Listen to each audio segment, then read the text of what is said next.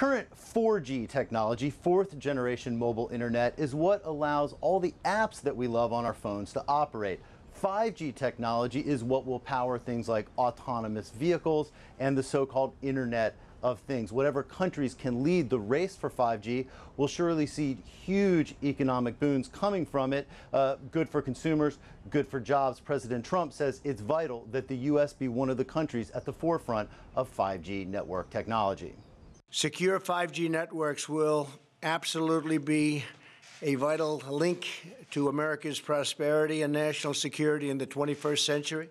It'll make American farms more productive, American manufacturing more competitive, and American health care better and more accessible. But the U.S. is playing catch up to China. China has already made huge investments in building out 5G networks. Also, the U.S. has essentially banned Huawei, a Chinese firm that is one of the leading manufacturers of the back end technology to build out these 5G networks. There are no U.S. manufacturers that can build out this type of equipment. But the White House says they have a plan to boost the race for 5G. They will reduce regulations and make a large chunk of radio spectrum available for 5G technology.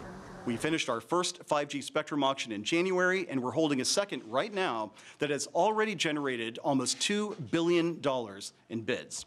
The White House is also making $20 billion available to build out broadband connectivity in rural areas. Many analysts are already wondering whether this plan is enough to move the U.S. to the front of the race for 5G technology. Jim Spellman, CGTN, at the White House.